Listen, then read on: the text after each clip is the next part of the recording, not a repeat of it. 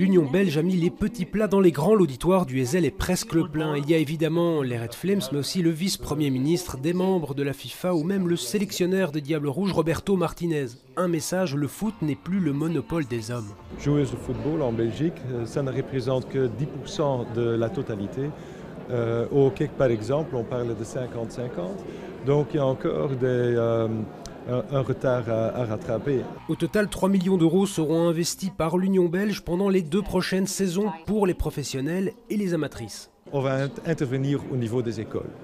Euh, avec une compétition interscolaire et avec des initiations. Ça, c'est euh, une chose.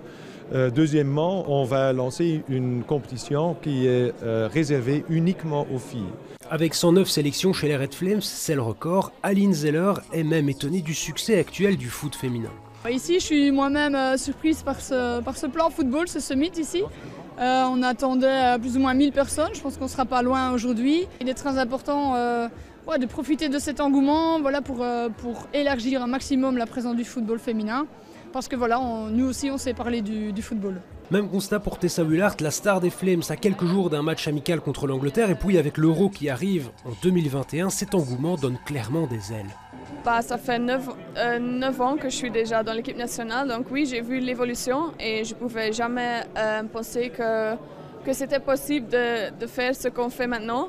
Euh, donc oui, c'est vraiment, oui, c'est incroyable. Mais donc, euh, oui, c'est à nous de, donner des, des, résultats sportifs et je pense que ça, c'est la réponse la plus bonne. Aujourd'hui, elle pointe à la 14e place du classement FIFA, mais dans les prochaines années, elle compte bien monter avec le soutien de leurs nombreux supporters.